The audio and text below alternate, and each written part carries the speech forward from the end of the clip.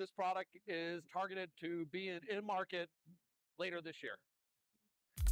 Welcome to the LG Home Entertainment area at CES 2024. I'm Gregg Lee, Senior Product Trainer with LG Home Entertainment. And look at the magic that is going on here behind me. This is LG's mm-hmm. OLED T transparent OLED television. This is the latest culmination of LG technology and engineering. Now bring you a television that when you're watching it, or maybe when you're not, you can see what is on the other side. Now, this is based on, of course, LG's OLED technology, which instead of using a backlight, creates its mm-hmm. own light in each individual pixel.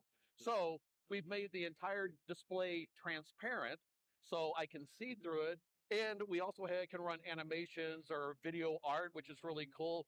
And anything that is black in that video actually displays as transparent on the OLED.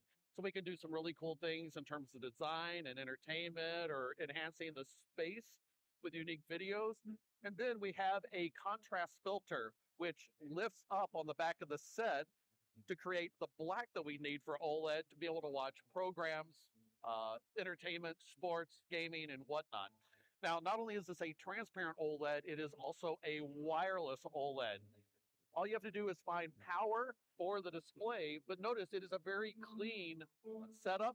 I don't see my cable box, a satellite box, a Blu-ray player, or a game console because they would connect to the box here at the lower right. This is where everything component-wise connects to and is our zero connect box because we use zero wires between the box mm. and getting that information to the display. So this uses a uh, wireless transmission, which is solid for about 10 meters, about 33 feet. So you can place it anywhere else in the room within that circle and be able to deliver the signal wirelessly. So I could put my audio equipment, my video equipment off to the side and have this very nice, clean aesthetic in my living space. So transparent, wireless, OLED. Where else? LG Home Entertainment.